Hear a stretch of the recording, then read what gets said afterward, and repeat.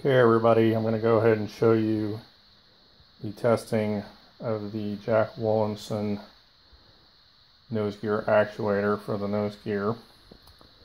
Uh, all this right here, this big old rat's nest of wires basically equals that right there.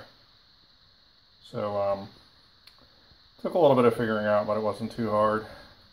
I have the AEX. I bought that when I originally bought this system. I don't know if I'm going to actually use it or not, but I'm going to go ahead and wire it up. There's the backup battery.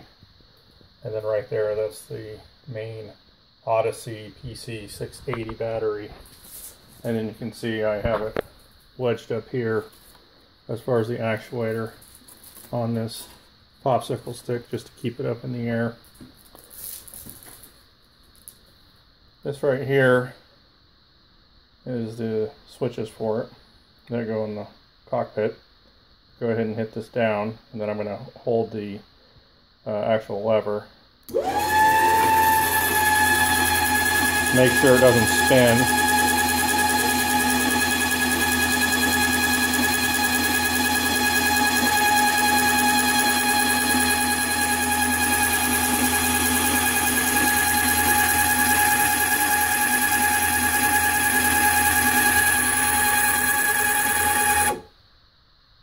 And then here are the micro switches that tell it when to stop the down travel and stop the up travel. When I tried the backup battery before, uh, I guess because I didn't have the AEX fired up, um, I'm not sure, but it didn't, the micro switches uh, didn't uh, actually stop it, so it started spinning.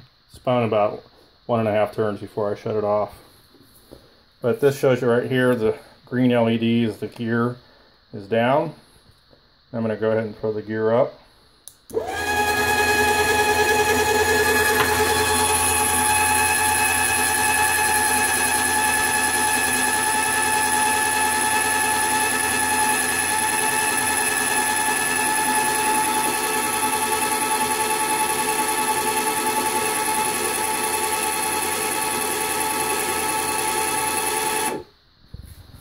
And that's it.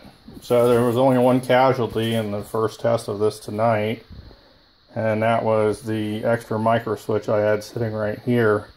Tell you this thing is powerful because that roller ball of the micro switch got caught right in here and just ripped it apart, shredded it. So this thing of course has a lot of power, not surprisingly. But that's it, and then uh, hopefully the next time that you all see this, these will all be in wire runs and nice and neatly uh, ran from point A to point B and all the other points. So this is it, and this concludes the nose gear test.